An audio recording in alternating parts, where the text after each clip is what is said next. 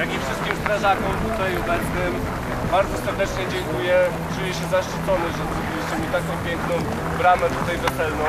Taki piękny pokaz, jak to działa nasza OSP. Wzorowo jest i kierowca, jest ratownik, jest lekarz. Karetka też super. Także naprawdę wszystkim bardzo, bardzo serdecznie dziękuję i życzę wszystkiego najlepszego. Tobie również. Serdecznie dziękujemy.